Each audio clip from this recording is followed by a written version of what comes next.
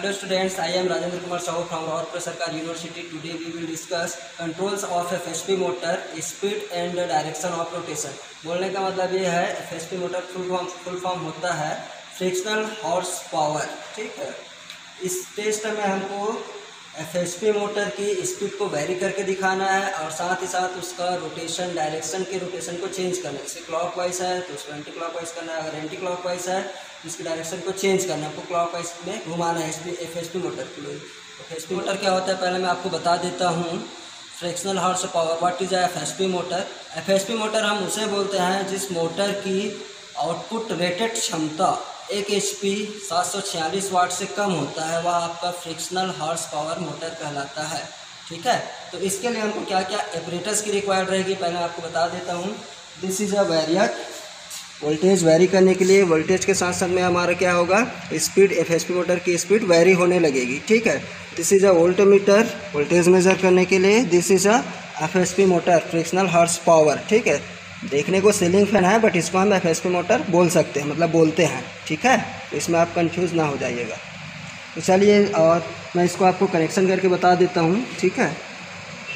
ये हमारा वैरियक है, इसमें दो टर्मिनल है, एक फेस और एक न्यूट्रल ठीक है? तो फेस वाले टर्मिनल से हम लिए, यहाँ पे हमने वोल्ट मीटर को पैरेलली कनेक्शन करना है। अभी हम इसको 150 के रेंज में सेट कर देते हैं, ठीक है?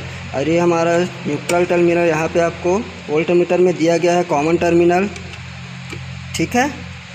अब यहाँ से हम कनेक्शन आउटपुट लेते हैं। वो कहाँ जाएगा? हमारा एफ़ मोटर पे, ठीक है? तो चलो जल्दी से कर लेते हैं कनेक्शन लेते हैं, ठीक है? ये वोल्ट मीटर से हमने आउटपुट ले लिया है। यहाँ पे कॉमन टर्मिनल लिया न्यूट्रल वाला, और ये हमारा आउटपुट फेस टर्मिनल ठीक है?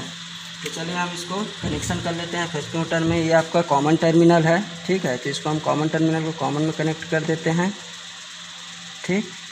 इसमें टर्मिनल दिया हुआ है। इसमें हम अच्छे से इसको टाइट कर लेंगे।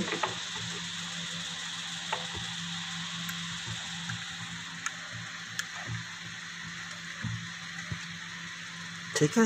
और जहाँ हमारा फेस टर्मिनल है इसको भी हम टाइट कर लेंगे।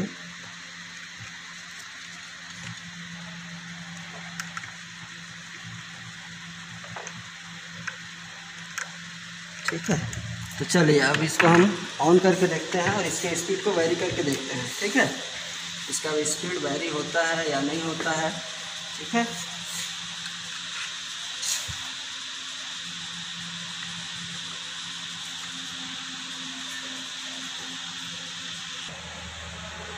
ठीक है, यहाँ पे हमारा वैलेट में सप्लाई आ चुका है। जैसे से हम इसको वेरी करेंगे, हमारा वोल्ट यहाँ पे शो होगा और हमारे एक फ़ैन रन करेगा, ठीक है मोटर रन करेगा। ठीक है? तो देख सकते हो, यहाँ पे हमारा वोल्ट मीटर शो हो रहा है और साथ ही हमारा फ़ैन घूमने लगा है, ठीक है रन कर रहा है। ठीक है? ठीक है? तो आप देख सकते हैं, इसकी स्पीड में वेरिएशन आ रहा है स्पीड बढ़ रहा है अभी इसका। ठीक है? अब हम इसकी स्पीड को कम करके भी दिखा देते हैं आपको। ठीक है, यहाँ से आप वेरी करते जाएँगे। अभी हमारा साठ वोल्टेज दिखा रहा है बट यहाँ पे स्केल है वन फिफ्टी इंटू टू मतलब one fifty into two sixty into two करेंगे तो यहाँ पे हमारा वन ट्वेंटी का वोल्ट है। ठीक है, एक सौ बीस वोल्टेज में अभी ये हमारा मोटर चल रहा है। ठीक है, अब इसकी स्पीड को हमको कम करना है तो हम क्या करेंगे, यहाँ से सिंपल इसके वोल्टेज को हम कम कर देंगे। ठीक है, ये देख सकते हैं आप अभी हम इसको। एट्टी वोल्ट पे रख दिए हैं, अस्सी वोल्ट पे तो हमारा स्पीड कम हो चुका है। ठीक है? अब इसके ध्यान से देखिएगा, यहीं पे हम इसका रोटेशन को समझेंगे। ठीक है? कि अभी ये कौन सा डायरेक्शन पे चल रहा है? चलिए मैं इसको अभी ऑफ़ कर देता हूँ। ठीक है? इसकी रोटेशन को देखते रहिए आप।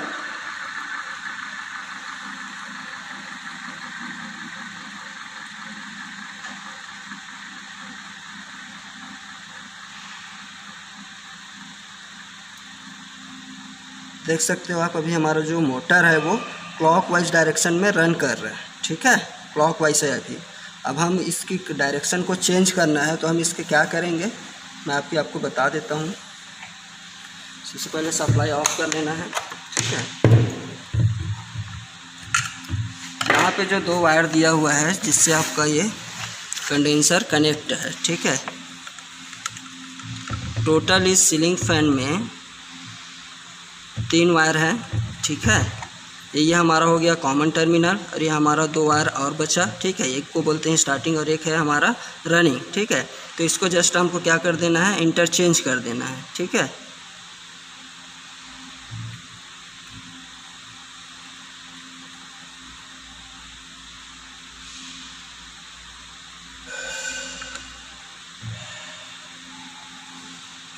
ठीक है, ये चेंज हो गया।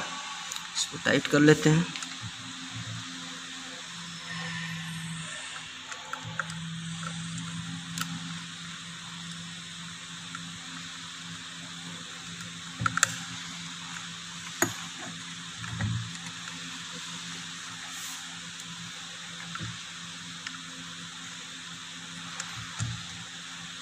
ठीक है, चलिए, अब इसको हम ऑन करके देखते हैं।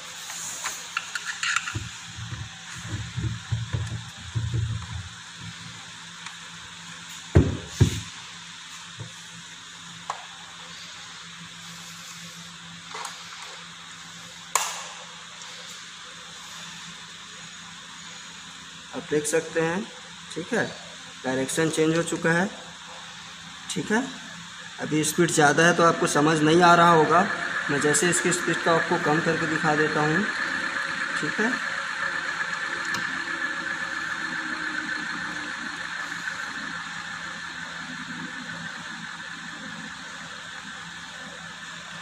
देख सकते हो, यहाँ पे हमारा जो मोटर है, पहले क्लॉकवाइज डायरेक्शन में रन कर रहा था, अब ये एंटी क्लॉकवाइज डायरेक्शन में रन कर रहा है ठीक है? तो इस